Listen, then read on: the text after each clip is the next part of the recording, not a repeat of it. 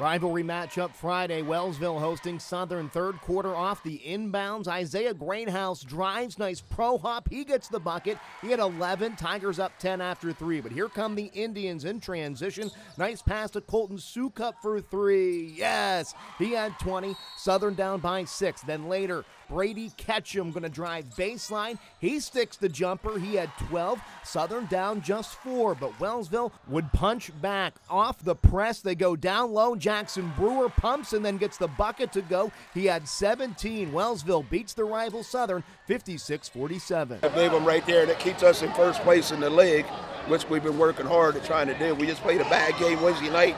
We come and pull this out tonight. Guys played together. Great game. I came into practice yesterday, told the guys we got to come together and, you know what I mean, come out here and handle business like we're supposed to. I feel like nobody in the league can really hang with us, and we just doing what we're supposed to be doing.